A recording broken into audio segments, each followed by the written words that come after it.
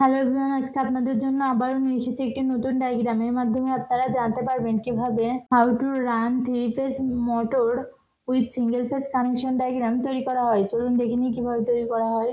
Motor বৈদ্যুতিক শক্তিকে যান্ত্রিক শক্তিতে রূপান্তরিত করাকেই মোটর বলে। Capacitor DPMCB double pole miniature circuit breaker motor থেকে ক্যাপাসিটরে পজিটিভ লাইন কানেকশন দেওয়া হলো। একইভাবে মোটর থেকে ক্যাপাসিটারে পজিটিভ লাইন অপোজিট টার্মিনালে কানেকশন দেওয়া হলো। পজিটিভ লাইন ডিপিএমসিবিতে কানেকশন দেওয়া হলো। নেগেটিভ লাইন মোটর থেকে ডিপিএমসিবিতে কানেকশন দেওয়া হলো। নেগেটিভ ও পজিটিভ লাইন আউটপুট লাইনে কানেকশন দেওয়া হলো। এই ডায়াগ্রামটি পুরোপুরি সম্পূর্ণ হয়েছে। এভাবে আপনারা আপনাদের বাসা বাড়ি অথবা কারখানাতে তৈরি করতে পারবেন। ভিডিওটির সাথে থাকার জন্য ধন্যবাদ। ভিডিওটি ভালো লাগলে লাইক ও সাবস্ক্রাইব করবেন। আমাদের চ্যানেলে কোনো ভিডিও যদি বুঝতে সমস্যা হয়, অবশ্যই কমেন্টের মাধ্যমে জানাবেন।